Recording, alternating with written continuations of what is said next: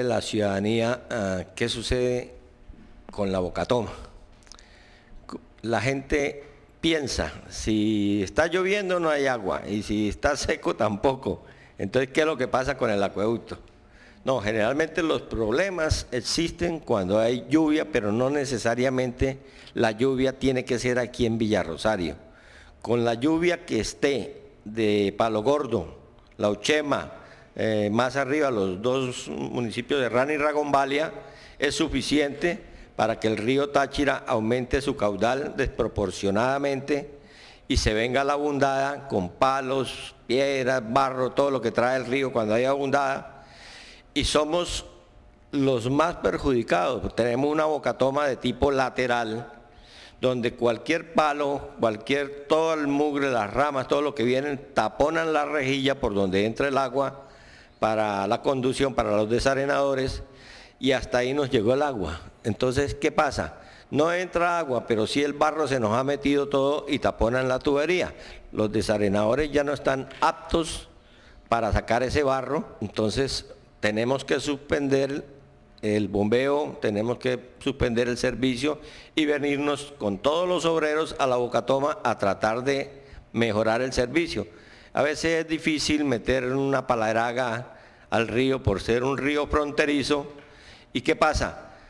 No hay modo, a veces no nos quieren alquilar ni siquiera una palaraga ni un bulldozer de oruga, que es lo que necesitamos ahí.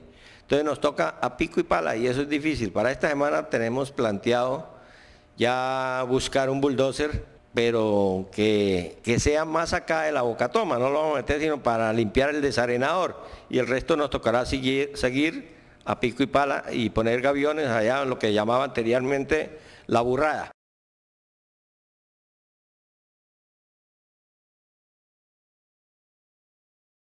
Eh, pues la preocupación de la comunidad y de ustedes mismos es que a mediano plazo o a largo plazo, ¿qué se debe hacer para que esta situación no se presente y contemos con un servicio de agua constante en el municipio? ¿Cómo arreglar eso a futuro, ingeniero? Pues como ya lo he dicho anteriormente, teníamos un proyecto para traer agua de, de Cínera, ¿no? de, la, de donde trae agua el municipio de Cúcuta, donde trae aguas capital.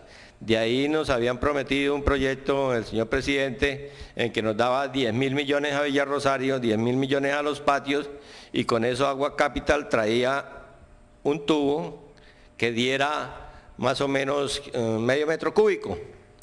Ese proyecto se vino abajo en el último consejo comunal, porque el señor presidente dijo que ya no había plata, que el COMPES no había aprobado, que Agua Capital no podía hacer eso porque tampoco ha cumplido en, en la ciudad de Cúcuta. Entonces quedamos igualmente desamparados. Nosotros, yo le planteé allá al viceministro si se podía hacer una especie de sondeo para tomar agua subterránea de la zona de, de Lomitas. Me dijeron que bueno, que había que mirar ese proyecto.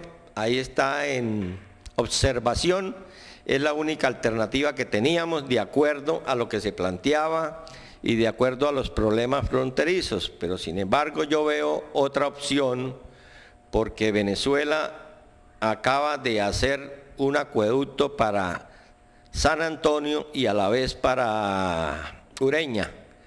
Este acueducto, según apareció en el diario La Opinión, diario de Cúcuta, nos habla de que toman 300 litros de agua del río Táchira a través de un sistema nuevo de captación en el cual eh, ponen es un lecho filtrante, una tecnología que no se aplica aquí en Colombia, que no se ha hecho, donde el agua pasa casi que filtrada para la conducción y, cuando llegue la avenida no van a tener problemas de sacar barro de la conducción ni nada.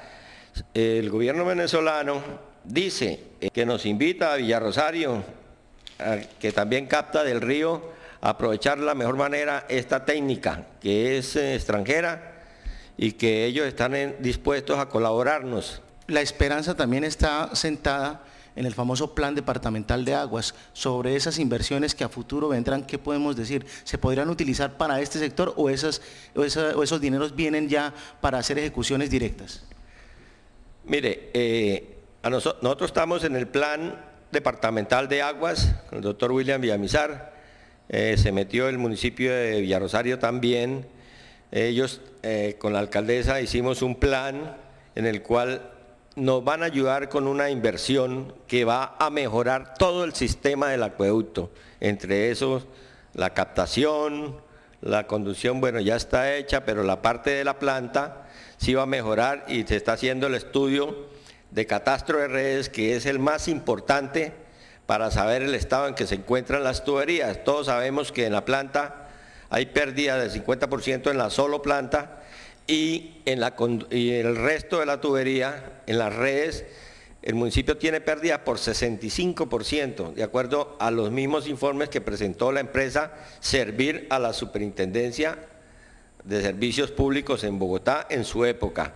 Por lo tanto, eh, el estudio nos va a decir qué debemos hacer para mejorar y este estudio ya está en realización por el Plan Departamental de Agua. Este será el, el horizonte que veremos más adelante y nos va a ayudar mucho, pero de todas maneras lo más importante está en la captación y de la derivación del líquido que es el río Táchira. Por ahora no tenemos otra fuente y tenemos que valernos de la que hay y es suficiente. Con ser de que Venezuela saque 300 litros por segundo, todavía queda agua para nosotros. Entonces, por eso era necesario la construcción de la represa del Mesón, que hace 30 años se está haciendo y ya no se hizo. Esa sí regulaba el caudal del río y podíamos distribuirlo de acuerdo a las necesidades. Pero ya no se hizo. Entonces, ¿qué nos toca? Meterle al río dragado y mejorarlo. Venezuela ya no tiene problema, ya está con su sistema nuevo de captación y esperamos que nosotros también podamos hacerlo, pero nosotros realmente aquí, por falta de agua, no nos hemos quedado, nos hemos quedado es por el invierno que nos daña el sistema de captación. Tenemos una rejilla lateral y se nos tapona en cualquier momento y aparte de eso, pues el lodo y eso hace que no podamos suministrar el servicio.